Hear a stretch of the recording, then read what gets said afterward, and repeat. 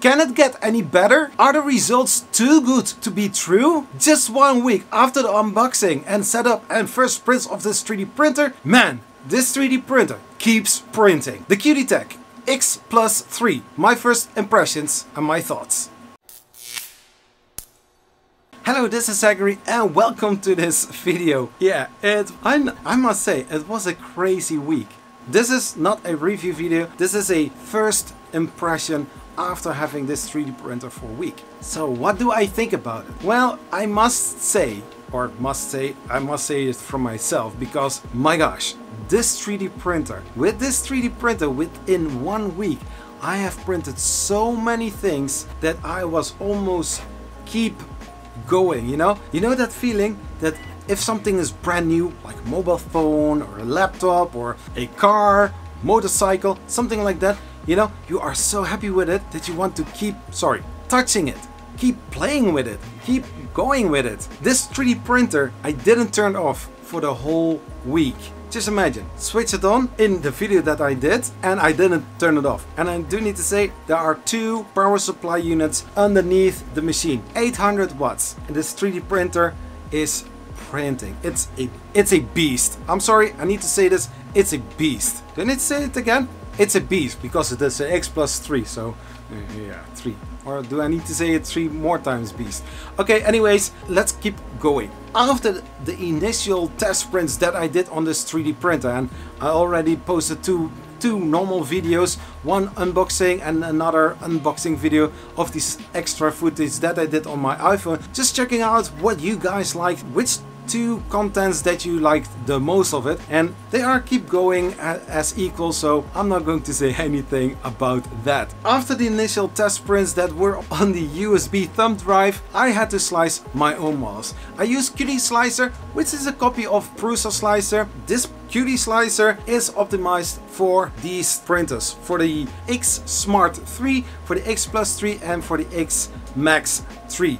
Well, if the Max 3 is just as good as this one, oh my gosh, this the volume that you can print, the bigger prints, but then it also takes a little bit longer as well. But this machine, yo, I need to say amazing. I took a lot of models from many artists that I know, but also other things that I thought like, hey, this is cool. I want to print this. Oh no, that is cool. I also want to print that. I was keep going. I was keep going. And when the printer was finished, I was like, the next one was already in line. And since this printer is running on Klipper or based upon Klipper running Fluidd, I already could slice it, send, upload it to the printer without, you know, upload and print because if you start printing then there is going to be an issue there I guess. I started with uh, models from Fixum Dude to print and place the FDM, the Fixum Dude Motors print and place models. I printed several of the, them. It is amazing. Just two hours and three minutes, something like that. Not longer than three hours. And then I had also this TIE Interceptor card from Fixum Dude. I also printed them. And since I had a file already in the printer, I was like, you know, why not printing it second time, you know, cannot harm. I had printed them on 240 millimeters by 240 millimeters, so almost full build plate size. Uh, this printer has a printing volume of 280 times 280 times 300 something like that. It is a Core XY 3D printer, the temperature up to 350 degrees C. You can also print other materials with it, but that I will leave for a other video because currently I'm printing with the normal standard filaments that most people are using. PLA, PETG, I don't have any TPU so I wouldn't do that. But I have also ABS. I think with this hot end I can print it as well. But after the Fixum Dude prints, I was like, hey cool, I want to print something else. And I was searching on printables and I found a cool model. A B-1 battle droid from Star Wars of course. Yeah, you know, you can print it small, but I was like, you know, 150%, it's not too bad, you know. Look at this. This this comes in three different cards. You print them without supports, not needed, and then you change it for the other color filament. And there is also a plaster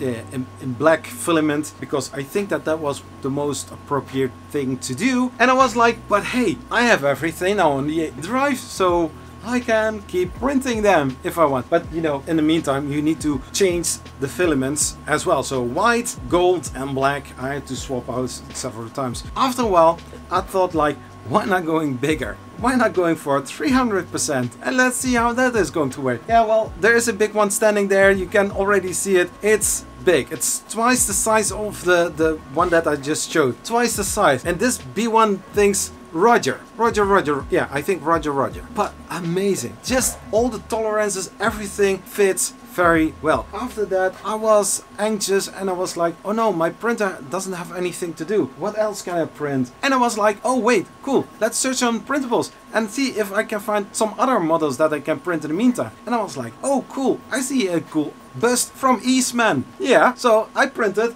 the Jon Snow bust from Lord of the Rings. And I was like, cool, it was big. Check out how big this is. This is that big, that big. It took 9 hours and 9 minutes. You saw the video that you saw earlier this week as well. It's just amazing. And so, so I thought, well, uh, okay, now we have used a lot of PETG my viewers are going to complain, oh, hmm, Zachary, he is only printing uh, PLA with a machine that can do more than only PLA.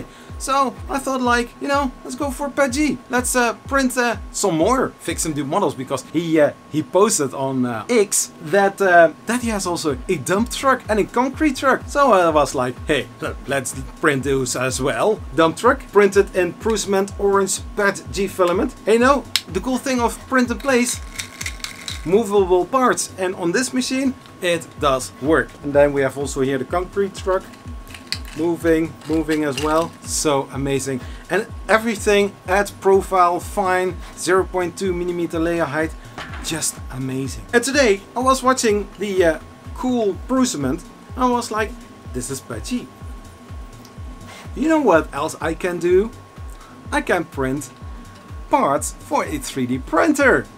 Why not doing that so I was looking to my uh, yeah my uh, Voron V0.1 and I was like yeah that thing needs some uh, TLC as well I did use it once or twice I was uh, this this is printed today and everything, even these small parts are looking amazing. You want to see me build this? Well, I'm thinking about to start streaming it in the next Friday evening hangout stream, you know, building uh, a Voron V0.1 or well actually upgrading the old parts for the new part because let's be honest, this orange does look a whole lot better, right?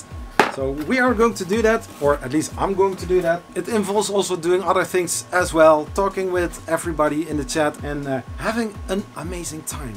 The X Plus 3, a Qtech 3D printer that blew my mind and still amazes me how well this 3D printer performs so far within a week, 6 days having this 3D printer, or yeah well actually 7 days and continuously printing without a problem. There is a little side note, hold your horses, there is just one issue that I really would like to bring to attention. If you are going to swap the filaments, which is going to be a thing, like mentioned in the previous video, I have the filament spool holder on the left side, so that for me it's easy to access it and swap it if possible. So within the menu you have the option to go to the settings and then unload. There's a little menu where you can load and unload the filament. There is only a button that says unload.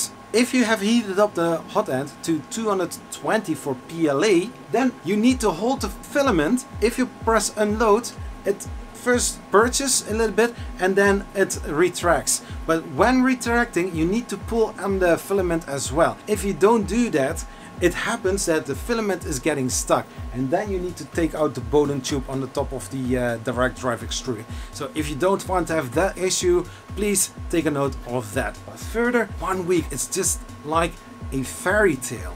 I'm waiting where is going to be the trouble. But so far I have strong confidence that this printer is going also going to do well with the other materials like nylon, nylon carbon fiber. I have two, two of those spools and because they are a little bit more expensive I do want to use them on project base. Not printing a uh, concrete truck in uh, you know nylon carbon fiber that would be very cool. But maybe I, I, need them for other projects and I don't want to spoil a 75 euro costing spool of filament versus 20, 30 euros. I think you know all what I mean. If you are interested in buying this 3D printer, hey, you can search wherever you want for this 3D printer. I will provide two links where you can buy those printers. Uh, one of them is an affiliate link from Amazon. It's just supporting this channel that way. And also the Qidi Tech official website. So check them out if you are interested in uh, buying this 3D printer. The price of this 3D printer on the Qidi Tech site is 750 US dollars, so far as I know.